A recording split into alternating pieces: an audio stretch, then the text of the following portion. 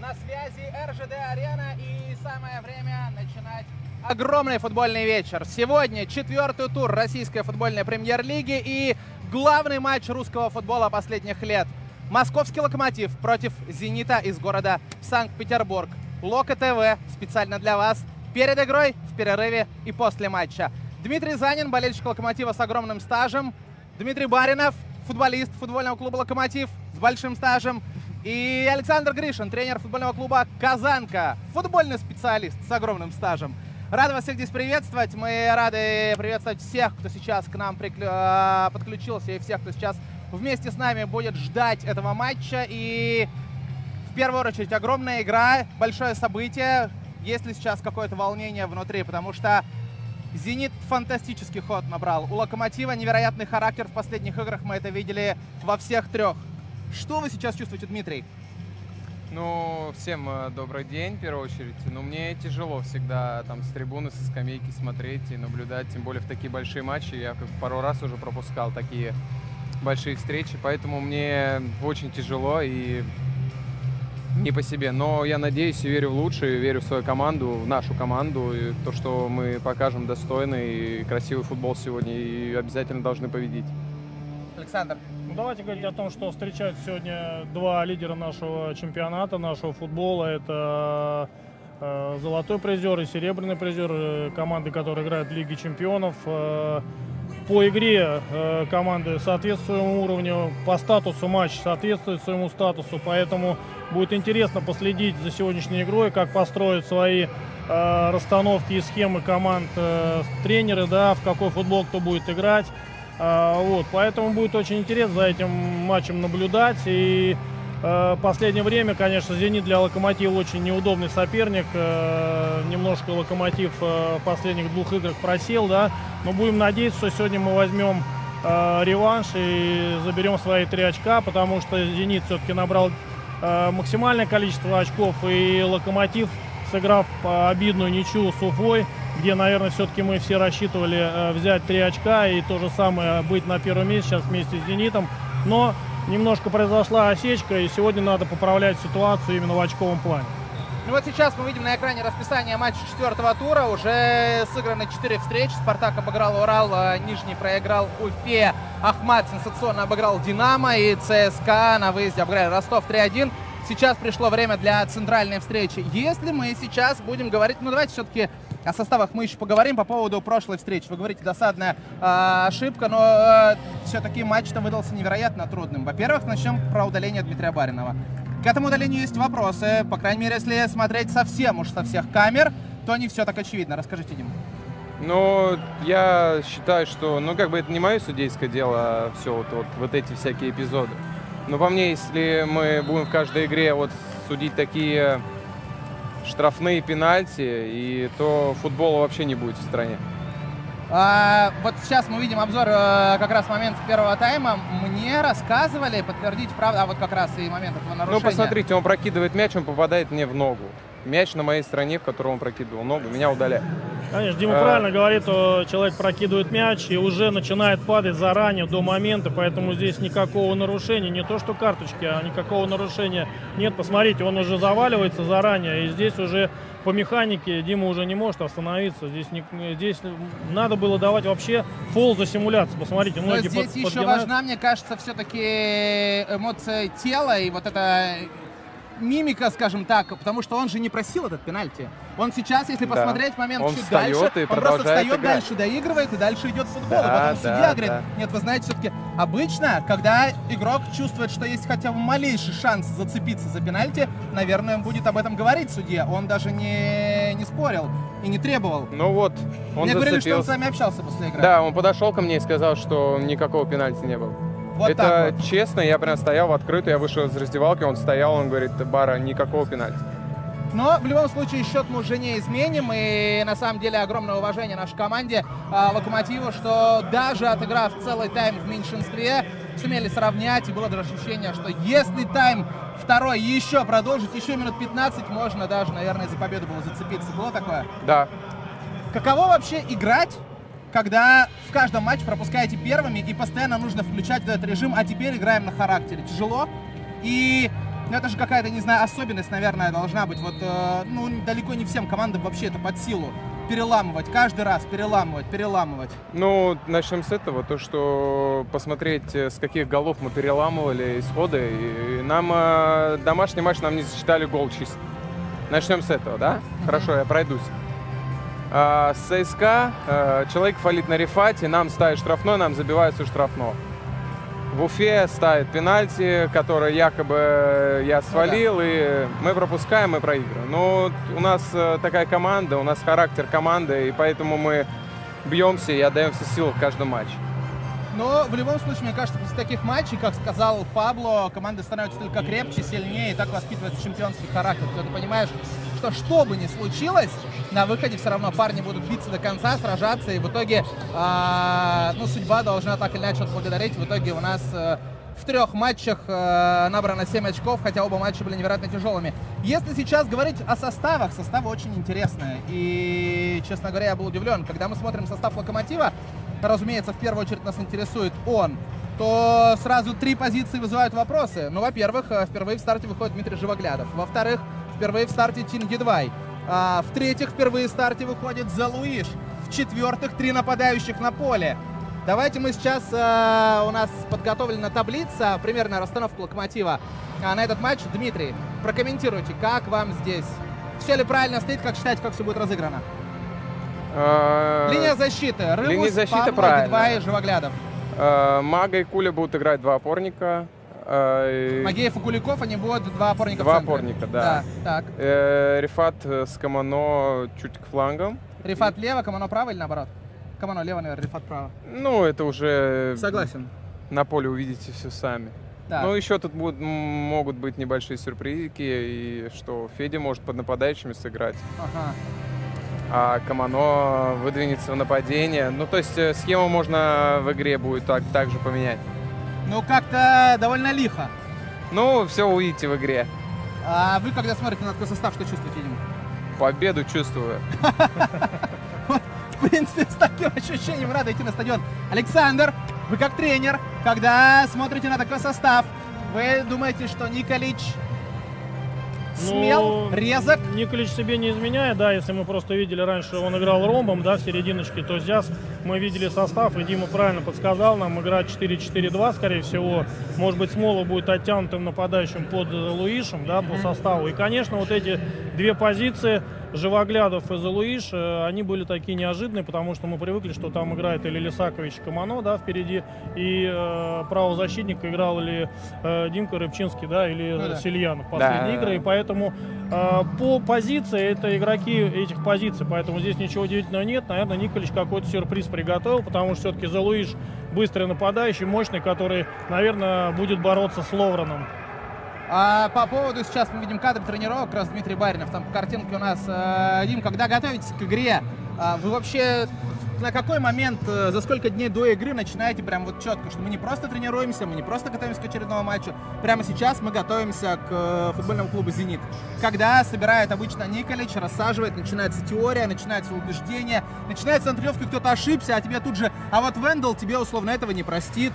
Ну, это после игры, наверное, дня через два. Если мы не разбираем э, предыдущую игру, то дня через два мы уже будем понимать, как мы будем играть, как мы будем действовать. И дня два-три будем разбирать соперника. По поводу теперь «Зенита». Вы наверняка же присутствовали на всех тренировках. А что говорит про них Николич? Команда набрала сумасшедший ход. У них 4 матча подряд, 4 победы, забивают кучу мячей. Ну, вообще довольно грозно выглядит. Ну, За последние годы мы очень э, много и часто играем с «Зенитом», потому что, ну, как бы команду знаем и примерно понимаем, как они будут сегодня играть. Э, Мы разбираем. Я перед этим сказал, что 2-3 дня мы разбираем соперника, и мы, вне зависимости от них, будем э, играть свой футбол, это в первую очередь. Вот это самое главное. Давайте сейчас посмотрим состав «Зенита». Там тоже есть что обсудить, потому что э, довольно интересное решение у Сергея Симака.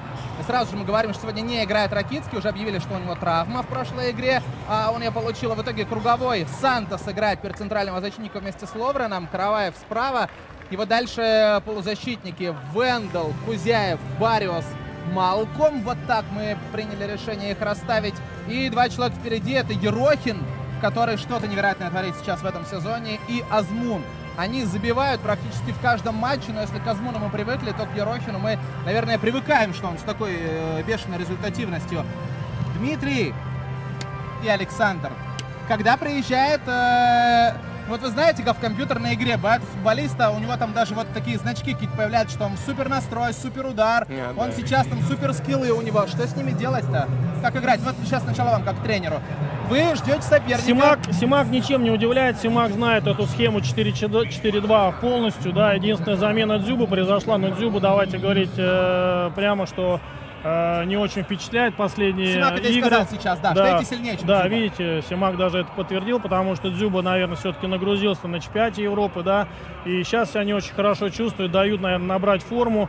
Э, И э, ставится Ерохин, потому что Ерохин на самом деле показывает сейчас фантастический футбол, в каждой игре забивает голы.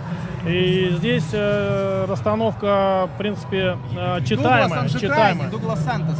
Сейчас в центре. Это преимущество он для будет- Локомотива, особенно когда у нас ну, такой атакующий состав. Э, Я так думаю, разные Сантос очень хороший футболист, качественный. Просто здесь э, замена Ракитского произошла, и у э, Симака другого качественного футболиста в эту позицию не было. И поэтому с таким соперником, как Локомотив, который борется и будет бороться за чемпионство, рисковать, ставить молодого футболиста, наверное, неправильно. Поэтому сдвинули э, Сантоса в середину и поставили молодого игрока на край. А так все читаемо, будут Малком и э, Вендел смещаться в середину поля, делать преимущество, и Ерохин будет играть под нападающим, а Азмун играть будет на острие. Да, да. Скорее всего так. Да, да, да. И мы разбирали это, кстати. То есть были к Да, этому готовы в да, целом. да, да, По да. поводу Дугласа э, в центре защиты, когда человек играет не на своей позиции, когда вот он практически большую часть карьеры бегает по бровке, сейчас его ставят в центр. Это ведь немного разная история. Расскажите, насколько сложно футболисту меняться? Окей, если ты играешь условно центрального защитника и опорного полузащитника, наверное, это более схожие позиции, чем с края уходить в центр. Или нет? Поправьте. Ну, ну, правильно сказали уже, что он э, очень хороший футболист в первую очередь. А я думаю, то, что им не составит никакого труда. Единственное, что сразу скажу, что э, за Луишем ему лучше не бороться. Просто, Залуешь машина? конечно. А у них-то дзюбы нет, а Залуиш у нас Вот, есть. И, кстати, по поводу еще э, Залуиша, сейчас э, Николич сказал, что он абсолютно здоров. Другое дело, что, может, не до конца сумел форму набрать, что на 90 минут в бешеном темпе его хватит вряд ли. Но, тем не менее, выйти и взорваться с первых минут у него силенок сейчас точно хватит, и поэтому на него сильно рассчитывают. Сегодня определяющую роль будет играть середина поля. И я сегодня, когда пролистывал разные спортивные сайты, вот там сопоставляли, что э, центр поля Зенита, Бариос и, допустим, Вендел, и центр поля Локомотива Куликов и Магеев. И вроде как Куликов и Магеев выглядят не так убедительно, как Бариос и Вендел. Как нужно действовать против, вот когда, условно, 2 на 2 вы играете? Есть ли смысл пытаться вот прям лоб в лоб сталкиваться, или нужно как-то как изящнее, не знаю, придумывать, вот подстраховывать, как действовать? Ну, это хорошо, когда недооценивают там эксперты все.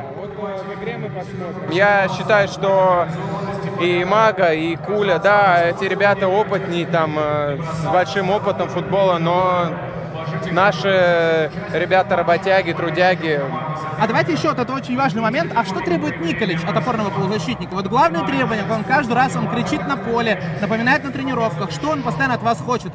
Главное, что должен делать опорный полузащитник. ну, э, а прям вот именно отборный или атакующий. Ну, Ну вот если- ваша, за ваша позиция. Сегодня играют опорного полузащитника э, Магеев Куликов. Что от, От- них он требует? Отбор и э, быстро да, вперед играть. Отбор вперед, отбор да, вперед При отборе сразу. быстро вперед играть, да. Но при этом э, еще должны, которые игроки спереди играют, они должны хорошо открываться. То есть сразу, только мяч у нас, тут же все включились, разбежались, да, да, поехали. да, Как говорится, в атаке пошире. Как Ну, говорил это классик. фишка, это фишка Николича. Он изначально приехал. Если кто анализирует э, игру Локомотива, то идет быстрый отбор, и все, особенно да, да. Камано, открывает свободную Вперед, зону. И вперед. первая, первая передача ее в свободную зону на Камано или условно сегодня Залуиш будет играть. Поэтому это фишка Николича, и Локомотив должен на этом сегодня сделать разницу. Если будут хорошие отборы у Куликова и Макеева, и именно хорошие вот эти быстрые выходы Выбегания. э, в выбегание, Да, да, да, да. наверное, Когда вы разбирали «Зенит», вы наверняка же смотрели, обращали внимание, окей, он много забивает, вопросов нет, но он пропускает в каждом матче по два, э, стабильно по одному. За счет чего? Ну, то есть там, я сегодня смотрел обзоры, там не, не читается какая-то системная э, недоработка где-то, но тем не менее эти голы не случаются. И при Ракитском, и при Лаврене, которые, ну, считаются, там, возможно, сильнейшей связкой в чемпионате. За счет чего? Локомотив сегодня будет лучше. Боевой настрой и, как я сказал, что при э, быстром отборе играть быстро вперед и чтобы хорошо открывались нападающие. Локомотив в этом сезоне в целом выглядит довольно убедительно. Э, выиграли первый матч, выиграли второй. Во втором встречались ЦСКА. С ЦСКА было интересно, потому что это э, Березутский строит новую команду наиболее, вот скажем так, топовый матч Локомотива, наиболее а, такой обра- близкий к образцовому Локомотив мы видели в какой игре в этом сезоне? Когда вот прямо вы понимали, что Илья Николич сказал, вот это было условно 80% от того, что я... Я скажу, что раз, э, были разные игры. А, с, с Арсеналом дома мы э, больше половину атаковали. А второй матч э, с ЦСКА Первый тайм, да, мы атаковали, но второй тайм нас посадили, и мы хорошо обороняли. Александр, у вас впечатление осталось какое? Вот где был топовый локомотив? По качеству, по качеству игры мне больше всего понравился второй тайм с ЦСКА. Там даже владение, владение мячом было 70 на 30 в пользу локомотива. И вот этот гол первый, то, что забил ЦСКА, немножко подпортил первый тайм, немножко растерялись, но потом взяли себя в руки и показали, что сейчас локомотив э, намного сильнее по качеству игры, чем ЦСКА. И это подтвердил второй тайм, потому что были еще моменты, можно было еще реализовывать. Но самое главное в таких играх э, просто забрать свои три очка и три очка при хорошей игре. То, что Локомотив продемонстрировал во втором тайме. Давайте сейчас пиковый момент нашего включения, и мы объявим конкурс, который будет проходить в инстаграме футбольного клуба «Локомотив». А сегодня последним постом в клубном инстаграме «Локомотива» нужно оставить комментарий, а, когда у «Локомотива» пройдет первая замена и кто выйдет на поле. Разыгрывать мы будем, как вы думаете, Дмитрий, что? Разумеется, клубную футболку с вашим автографом. Поэтому, да, вы расписываетесь, а мы еще раз объявляем. А, инстаграм футбольного клуба «Локомотив». А, заходите в Инстаграм, последний пост, и там в комментариях отмечайте, на какой минуте и кто выйдет на поле. Стартовый состав мы уже сегодня обсудили. А, кто может выйти на поле? Ну, во-первых, все-таки давайте мы еще раз покажем, что первый, кто оставит правильный комментарий, он выиграет вот эту футболку. Дмитрий Баринов, шестой номер, здесь автограф, все очень серьезно, это не какая-то э, не какая-то шутка, это розыгрыш, самый настоящий. А, на ваш взгляд, первый, кто должен будет выходить на поле, если условно счет 0-0, игра равная, бьемся, бара, э, бьемся, бодаемся, кто должен выходить? И какова вообще философия Николича? 0-0, игра равная, мы усиливаем, добиваем, додавливаем, или мы аккуратненько приберегаем и в целом Главное не пропустить. А мы сейчас можем разговаривать? Обычно во время гимнов не говорят.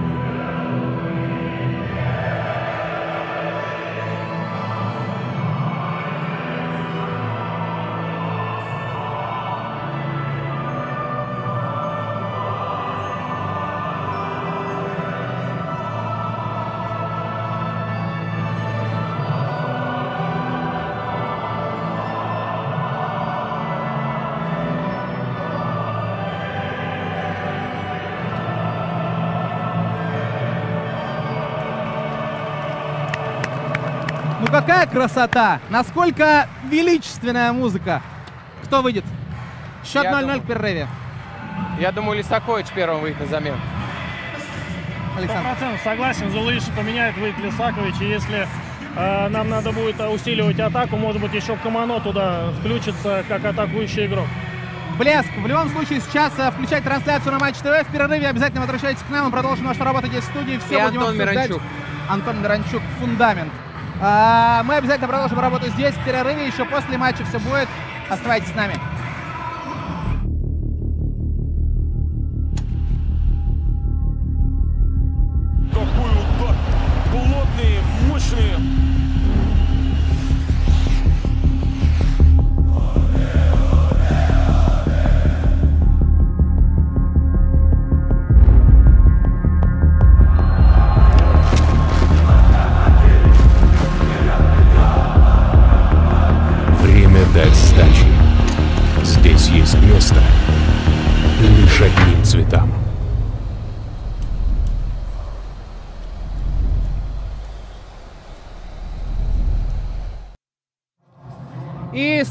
Связи РЖД Арена. Мы продолжаем свою работу в прямом эфире. В перерыве главного матча русского футбола последних лет. Зенит, Локомотив. Локомотив, Зенит будем называть вещи своими именами. И будем объявлять составы правильные, составы играющих команд сегодня. А, Елена Фомина, главный тренер женского футбольного клуба Локомотив. Александр Гришин, тренер футбольного клуба Казанка. Сегодня мы с ними анализируем все то, что происходило в первом тайме в этом матче. А, Главное впечатление. Есть ли ощущение, что какая-то из команд выглядит получше, посильнее?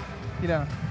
Мне кажется, равная абсолютно игра. Единственное, мы имели момент у Зулуиши. И то, что Смолов забил вот этот мяч, наверное, это приятно для болельщиков, но на самом деле результата пока нет. Александр, а, когда ваш игрок не забивает в таком моменте, как не забил Залуиш? Особенно, когда перед этим Смолов забил в моменте, в котором вообще не, ну, кто бы стал бить в такой ситуации изначально. А если бы ты и пробил, то не факт, что ты кто бы попал вообще в этой ситуации. После того, как Смолов забил вот так, а Залуиш не забил вот так. Что говорят Залуиш, или мне не надо ничего говорить? Ну, Смолов было вне игры, э, будем объективны, но э, если бы Смолов забил этот гол, можно было бы обвинять Киржакова, потому что такие голы не забиваются практически в большом футболе. То, что Луиш вышел один на один, это хорошая комбинация. То, что мы перед игрой говорили, это быстрый отбор и быстрая хорошая атака. Но здесь надо было исполнять. И Луиш слишком прямолинейно пробил сильно его вратаря. Если попал чуть-чуть э, в угол, я думаю, Локомотив повел бы и сейчас играл уже по счету. Есть ощущение, что как раз у «Зенита» таких вот супер явных моментов-то не было, как у «Локомотива». Ну, условно, выход один на один, чтобы прям вот все, здесь и сейчас, решая, будет гол. Довольно натужно играют соперник. Но в конце концов «Локомотив» играет сильнее. Складывается такое ощущение лично у меня.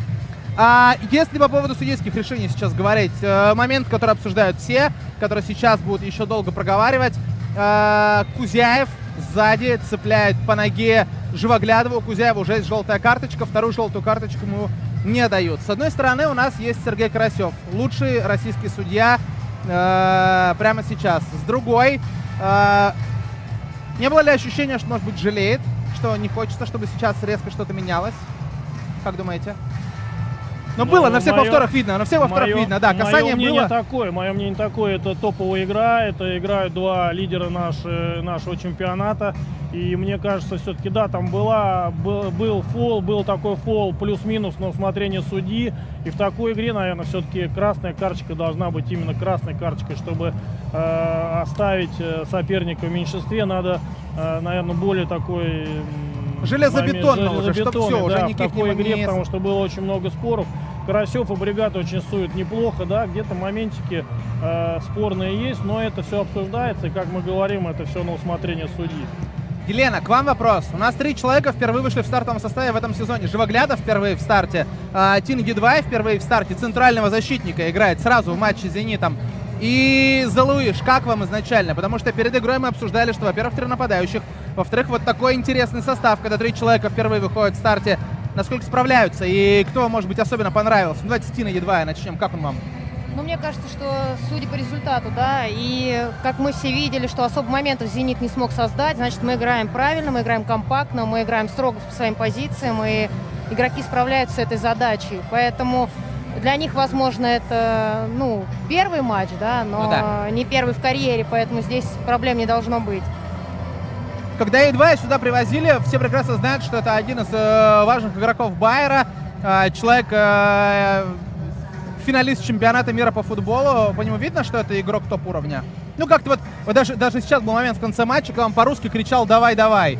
Ну, то есть вообще сам факт, что ты, а, что-то командуешь партнером, понятно, что это твоя позиция, но тем не менее, на русском, ну, как-то вот сразу так, все, ребят, я здесь, я с вами. Видно, что он топ? Ну, конечно, видно, что он сильный игрок, и уровень его соответствует да, команде, в которой он есть. И не просто так человек чемпион Европы, и здесь говорить о том, что он лидер, я думаю, что да, можно. Ну, у нас качественные игроки есть. Еще Мурила, который сейчас с травмой, да, поэтому за центральную зону беспокоиться не стоит, поэтому Лысова отдали в Ахмат, потому что есть едва, и он сегодня показывает с Паблом, что они, э, Елена правильно сказала, есть плотность в обороне, есть подстраховка, и практически один удар только Азмуна, да, был э, Да. у Зенита, и больше Зенит ничего не создал, поэтому можно говорить о том, что, наверное, все-таки сегодня защитники не сгладить, конечно. Первый тайм, мы говорим, по первому тайму претензий к ним нет. Когда мы уходили с э, нашей первой студии перед перерывом, я спрашивал при счете 0-0, что будет делать Николич. Вы вместе с Бариновым сказали, скорее всего, будет Лисакович, возможно, Антон Миранчук. Э, ничего не меняется. Скорее всего, если, не- если все так и будет идти, нужно будет выпускать человека вперед. Елена, как думаете? Лисаковича, Миранчука? Ну, мы понимаем, что такие матчи – это одна ошибка, да, один эпизод, который может решить ход встречи. Поэтому э, я думаю, что да, и, конечно, будет корректировка, и, может быть, не сразу, а где-то середины второго тайма. Я думаю, что мы будем усиливаться в атаке. И еще неизвестно, опять же, как состояние здоровья Дмитрия Живоглядова, потому что был момент, когда он дер- держался за ногу, просил остановить игру, а у нас может сегодня дебютировать Нирти Князян, а, крайний полузащитник, э, может играть крайнего защитника, который перешел как раз из ЦСКА, буквально последние минуты разминался здесь без манишки. А, очень важный момент у нас на столе лежит футболка футбольного клуба «Локомотив», э, Дмитрий Баринов. Он перед матчем на ней расписался, и еще не было замены у «Локомотива» в этом матче. Так вот, у нас есть конкурс. Кто э, в комментариях под последним постом в инстаграме Локомотива напишет и угадает э, игрока и минуту, на которую он выйдет, э, тот, соответственно, и получит эту футболку. Мы с вами обязательно свяжемся в конце матча, подведем итоги. Итак, футболка Дмитрия Баринова с автографом. А теперь мы переходим к главной теме, э, которая затмит даже, наверное, этот матч. Лига чемпионов приходит к нам сюда, в Локомотив. Э, женский футбольный клуб будет играть впервые в истории в Лиге чемпионов женской. э, 18 августа и 21 Э, такой формат, что сначала отборочный раунд, э, четыре команды играют в группе. И в группе у Локомотива это лондонский Арсенал, клубу больше 30 лет, они 12-кратные обладатели э, чемпи- чемпиона Англии. Э, из Нидерландов ПСВ Эндховен, э, казахстанский Окжетпес. Окжетпес и Арсенал нас интересуют в меньшей степени пока, потому что формат турнира таков, что 4 группы, две играют между собой, затем финал, и кто из финала выходит, в Лигу чемпионов. Соответственно, наш Локомотив будет играть с ПСВ Эндховен. Что вы скажете? Насколько это сурово? У них был, э, была девушка э, Джоэля Смитс, которая забивала там по бог знает сколько мячей. Они продали в а больше у них забивать-то особо теперь некому, я смотрю. Но если говорить э, по сопернику, конечно, они играют в атакующий футбол 4-3-3, у них схема, и достаточно обученные игроки высокого класса, очень много игроков, которые составляют сборную Голландии, Нидерландов сборную. И э, мы знаем, что Нидерланды это чемпионы Европы 2017 года и вице-чемпионы чемпионата мира, поэтому говорить об уровне команды, наверное, ну, здесь все понятно, да, что это сложный будет для нас матч, но шансы у нас есть, и мы будем стараться У нас проходить. есть Нелли Коровкина, которая забивает практически в каждой игре, которая лучший футболист, лучшая футболистка России, наверное, прямо сейчас. Нас есть роскошный тренер. Но мы, когда играем в Лиге Чемпионов, мы понимаем, что это супер важный турнир, что это, э, возможно, ну, первый шанс в жизни для многих девушек. Вы будете выходить на эту игру как? Это наша Черкизова? Или Лига Чемпионов это слишком серьезно, поэтому давайте поспокойнее. Нет, это наши Черкизовы, и мы будем доказывать право свое на участие в Лиге Чемпионов. Мы хотим пробиться как можно дальше.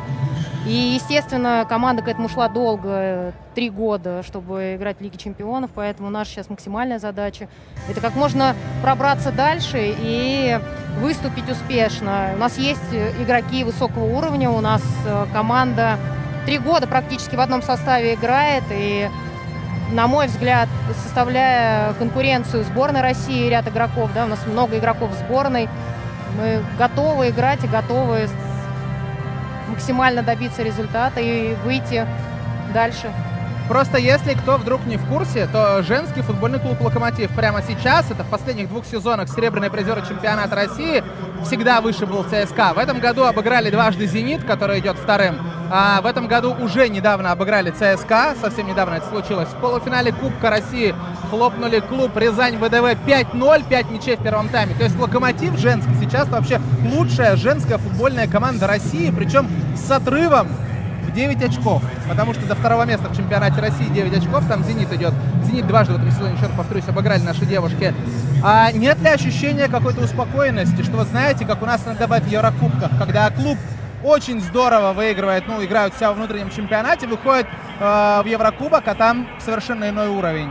Мы часто видим это вот с российским футболом, к сожалению. Ну, на самом деле, в начале пути мы знали, что мы хотим играть в Лиге Чемпионов, к этому шли и готовимся даже не к нашим матчам чемпионата, а проговариваем постоянно, что в Лиге Чемпионов вот надо будет да, прикладывать еще больше усилий. И девчонки, в принципе, готовы на этом уровне играть. э, И готовы, потому что они в сборной играют на высоком уровне с сильными соперниками.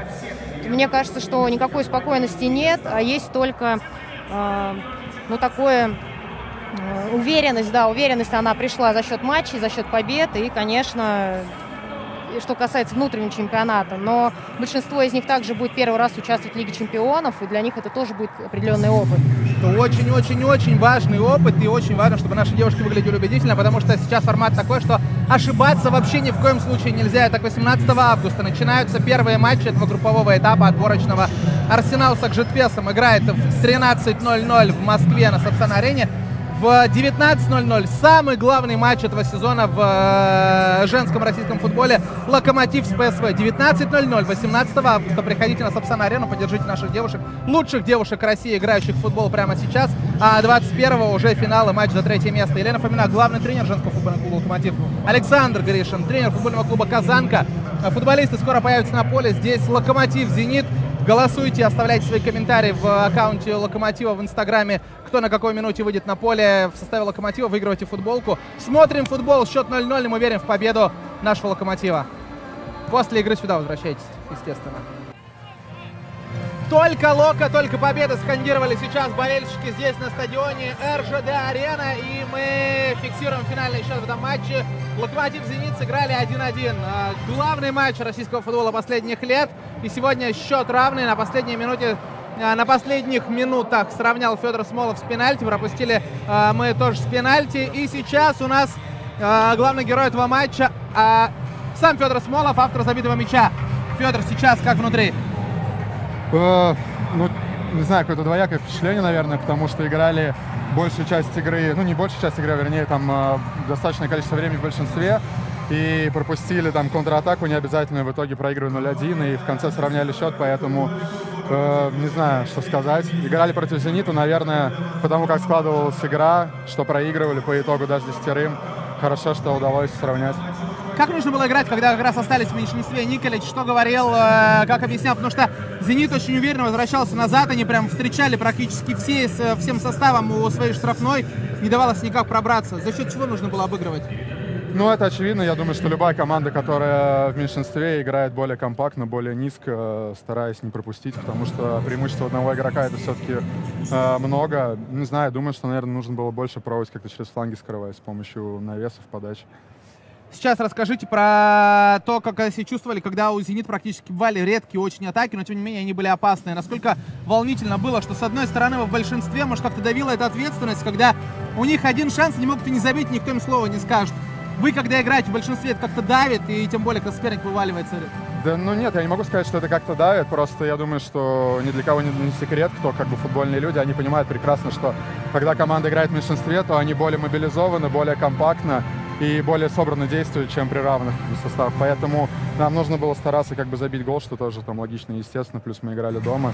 К сожалению, там пропустили контратаку необязательную, и, ну, что привело к пенальти. У Локомотива такая сейчас серия тянется, что в четырех матчах подряд Локомотив пропускает первым, но при этом отыгрывается и не проигрывает.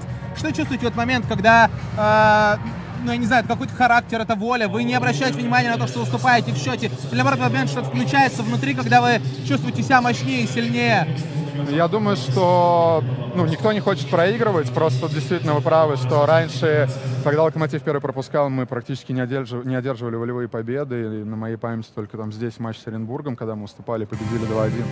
Вот. Э, это говорит о том, что мы стали сильнее как коллектив, все бьются друг за друга, не хотят уступать и не сдаются до последнего. За такой локомотив хочется болеть. И последний вопрос Спасибо. по поводу вашего а, забитого мяча. Когда шли бить с, то- с точки, заранее планировали, знали ли, как играет Киржаков, куда будете? Ну, нет, на самом деле от себя отталкивался, потому что мы на тренировках э, пенальти отрабатываем, поэтому, в принципе, готовился, знал, что буду туда бить. Огромное спасибо, поздравляем. Спасибо. Блестящая игра. Спасибо. Федора надо отпустить, мы продолжаем свою работу здесь, э, в студии на РЖД-арене. Щас, щас. Федора надо уже отвести в э, раздевалку, потому что сейчас наверняка Марку Николич будет говорить какие-то важные слова. Э, Александр, как вам-то игра? Ну, согласитесь, в целом, во-первых, самое главное, по футболу, по уровню футбола, по накалу, по настрою, в целом это было интересно. Это Но мне очень футбол понравился, тем более мы смотрели с тобой, Дима, от поля, прям, да, было видно движение, было видно вот этот дух футбольный, мотивация футболистов, поэтому э, футбол был хорошего качества, э, ребята старались, э, единственное, конечно, правильно Федор сказал, когда было удаление у «Зенита», надо было, наверное, все-таки больше вскрывать э, оборону э, «Зенита» через фланги, потому что был такой у нас нападающий хороший, как Залуиш, который играет здорово вверху, и, наверное, мы побольше поимели бы моментов какого-то давления, остроты около ворот соперника. А так, я так думаю, то, что мы с тобой говорили, если перед игрой бы э, сказали бы и «Зениту», и «Локомотиву», что будет ничья, наверное, одна и вторая команда согласилась бы на этот результат, потому что и одна команда, и вторая остаются в лидирующей гонке и будут бороться, наверное, в этом сезоне за Лигу чемпионов, за место. Ну, как раз вот вы уже отметили, да, что у нас в составе Залуиш, которого э, Марку Николич нам на входе представлял как человека, который, да, здоров, но готов ли он играть все 90 минут, это большой вопрос. В итоге он отбегал все 90 минут и до последнего момента создавал угрозу воротам соперника. Это, конечно же, э, ну, честно говоря, заслуживает уважения, потому что он понимал, что он нужен, что с ним локомотив сильнее, и он оставался на поле. А, Сегодня на Иртик Князян у нас, да, три человека, мы еще раз говорим, три человека впервые в сезоне вышли в стартовом составе. Тин Едвай, блестяще. А, Дмитрий Живоглядов, да, после небольшого повреждения ушел, покинул поле. А, Зе Луиш впервые вышел в стартовом составе. И Наир Технезян сегодня дебютировал за «Локомотив». Когда мы смотрели футбол, вы сказали, это мой воспитанник. Расскажите. Ну, не секрет, что он играл у меня в молодежной команде ЦСКА. Э, Это хороший футболист. Я рад, что он оказался в «Локомотиве». Э, такой футболист, который всегда любит выигрывать. Он пришел в эту команду помогать, э, бороться за «Локомотиву», за высокие места. Он сегодня играл первую игру и сыграл на своем уровне. Не сказать, чтобы очень сильно помог в атаке, но, в принципе, неплохо сыграл в обороне. Я так думаю, что на э, первым, на первое время он сыграл так, как его просил Николич. Вообще было волнительно в какой-то момент за «Локомотив», потому что у нас в составе а, одновременно, ну сколько, м, семь желтых карточек мы получили, а, при этом в какой-то момент на поле были человек 5, наверное, с желтыми карточками. Это как-то влияло на внутреннее ощущение, особенно когда, а, ну, Карасев уже в какой-то момент все расчехлил карман с красными, и понятно было, что все, Кузяев ушел, и следующим может быть вообще кто угодно. Ну все, как бы, эта дверь открыта в раздевалку назад волновались, когда тем более игра пошла на встречных курсах, когда опять же Макеев э, свалил Азмуна. Ним согласен с тобой, но давайте похвалим мы Карасева. Он держал э, игру в своих руках, он знал, когда показывать карточки, когда не показывать, когда остановить игру, когда успокоить футболистов, поэтому э, э, такой вот футбол э, именно судья сделал, открытый, он давал бороться, поэтому много карточек, но еще раз говорю, мы встречались два лидера, Э, Каждый футболист боролся на каждом участке поля, поэтому за борьбу какие-то карточки э, судья давал, но и в то же время давал бороться. Это очень хороший момент для нашего судейства, потому что мы знаем, что уже иностранные тренеры, как Шварц, э, как тот же Николич, они обозначали, что у нас слишком лояльное судейство, которое любой фол дается желтой или красной карточкой. Мы сегодня видели судейство европейского уровня, что Карасев и доказал. Еще раз говорю, надо отдать должное командам, которые слушались э, судью и в то же время навязывали очень хорошую э, борьбу на поле. И в связи с этим столько желтых карточек. Но еще раз говорю, никто не хотел уступать, и поэтому вот такая Но в итоге никто не хотел уступать, счет оказался ничейным. Мы сейчас видим турнирную таблицу, в ней принципиально расклад сил не поменялся. «Зенит» как был лидером, так и остался на первом месте. А, После четырех матчей у него 10 очков, у «Локомотива» после четырех матчей 8 очков. Совершенно понятно, что еще тысячу раз примерно все в этой таблице поменяется, но главное, что принципиальному лидеру, принци- принципиальному сопернику, а, принципиальному конкуренту мы сегодня не уступили. Да, даже в том моменте, когда а, приходилось действительно целый тайм практически играть в большинстве, и все равно мы видели, как действовали и Малком, а, ставший олимпийским чемпионом, и Азмун. Даже на невероятной усталости все равно не убегали, создавали опасность у наших ворот. А, Тем не менее, Локомотив сегодня выстоял. А, Если говорить сейчас еще а, по поводу нашей команды, по поводу Локомотива, ну, скажем, тройку вот сегодня игроков, которые вас впечатлили. Кого Но выделили? мне понравился Эдвай, честно говоря. Эдвай понравился. Тим Едвай, да, дебют Да, понравился. Залуиш, как играл. То, что мы говорили, он создавал напряжение, он боролся, и он выдержал 90 минут, хотя на него, наверное, все-таки рассчитывали минут на 60. И, наверное, третий игрок, это Смолов, креативный футболист, и забил гол ворота «Зенита», поэтому вот эти три игрока, наверное, э, можно выделить, но, э, как говорится, нельзя выделять игроков, когда команда хорошо играла, этим игрокам помогали другие ребята, которые были на поле, поэтому здесь надо сегодня отметить хорошую игру Локомотива. Единственное, немножко смазали мы второй тайм при э, удалении Зенита. Мы все-таки два момента в свои ворота получили. Получили. Вот это, правда. не Если бы забил. Вендел, и если бы забил Азмун, Азмун. сначала, а Да. потом Вендел следом, это была бы, конечно же, катастрофа. Ну, наверное, наверное. Все все разберут, всем все объяснят, потому что а, Пабло защитник очень опытный, он много раз выручал. Да, тем не менее, сегодня, может, ошибся, но были люди, которые подстраховали и которые ситуацию исправляли. А, важная история, на самом деле, но любопытный такой момент, когда я а, смотрел, может быть, обратили внимание, когда назначили пенальти в ворота «Зенита», да, после просмотра, тем не менее, неважно, и пошел бить Федор Смолов, я смотрел на Марку Николича в этот момент. Это просто само спокойствие. Он взял бутылку воды, он вот так ходил по своей этой технической зоне, даже не смотрел в сторону ворот. Весь стадион смотрит на Смолова и на Киржакова, весь стадион на ворот, он смотрит демонстративно в сторону. Он слышит шум, что все забили, вообще ни капли. Вот, вот просто ничего в нем не дернулось, абсолютно. Настолько вот он уверен был в том, что все будет нормально. Или это, или, или это, или это что? В таком моменте от тренера ничего не зависит. Здесь единственное, надо говорить о том, что, видно, у Никольча какая-то примета есть. Многие тренеры, которые не смотрят, когда игрок бьет пенальти, и ориентируются по э, звуку трибун, да, если мяч попал, трибуны э, взорвались, значит, это гол. Здесь надо еще, Дима, отметить э, хорошую поддержку наших фанатов. Это правда, Наших это болельщиков, правда. да. Они очень При том, что их сегодня поддерж- здесь было всего-то, ну, прям по, по- по регламенту Да. нынешнему пускают, ну, совсем буквально копейки. Но, тем не Ну, менее, шум да. был постоянный, и Был- это здорово. Была слышна поддержка, спасибо болельщикам за это. И надо говорить о том, что футбол с болельщиками и без болельщиков это вообще две разные истории. Поэтому я так думаю, чем мы быстрее э, в российском чемпионате пустим болельщиков на трибуну, тем будет э, лучше для футболистов и для всего российского В футбола. Англии вообще практически полные стадионы, но тем не менее сегодня наша команда, кстати, подошла, поблагодарила болельщиков, они ее тепло поприветствовали. Если теперь говорить по поводу будущего Локомотива, впереди 22 августа матч с э, Краснодаром, здесь же, затем матч с Динамо на выезде, ну опять на выезде, все, играют в Москве. Э, ну календарь такой крепчайший Локомотиву достался. Хватит ли сил, опять же, с учетом того, что с одной стороны ротация присутствует, действительно, но когда мы говорим про то, кто будет усиливать игру, это мы называем а, Миранчук-Лисакович. Миранчук-Лисакович выходит, действительно, а, ну, хорошо, если они будут в старте.